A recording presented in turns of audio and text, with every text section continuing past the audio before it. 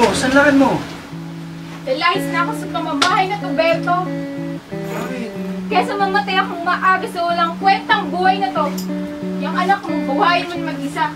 Kung hindi mo kaya buhayan, paampun mo. Kor. Kor naman.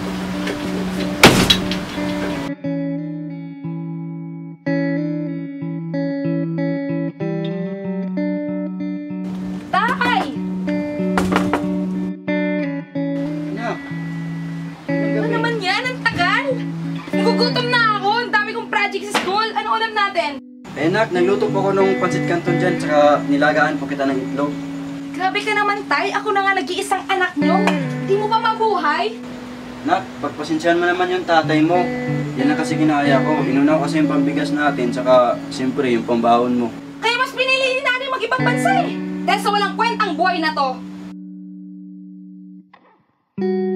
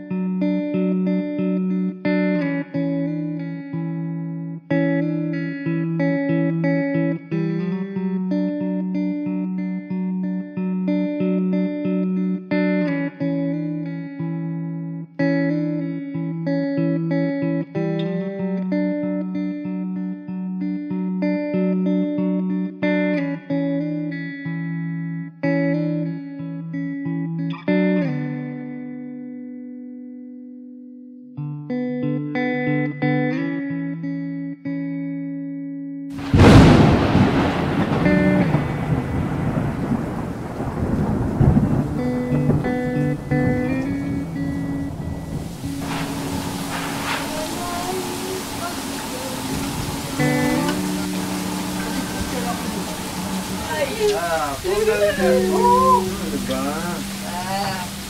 Ano to? Ikaw na naman. Nakakasawa lang yung pagmumukha mo. Mabas ka dito!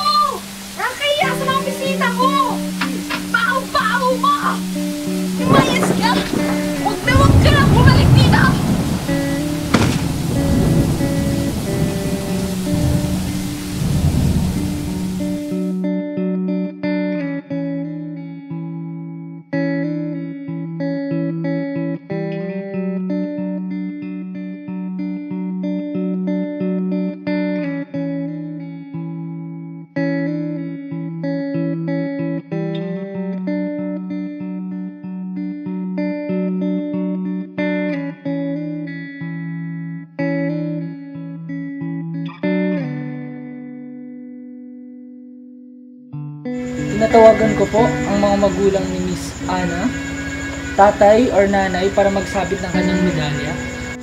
Pwede mo bang pwede lang magsalit ang medalya ko? Patay na po kasi yung tatay ko.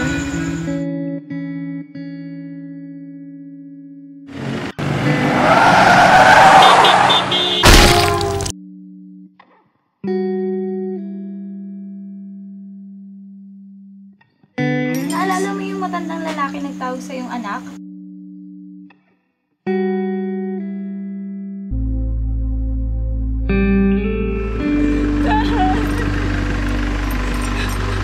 They saw me. Tay. Sorry. Patawarin niyo po ako, Tay. Mahal sorry.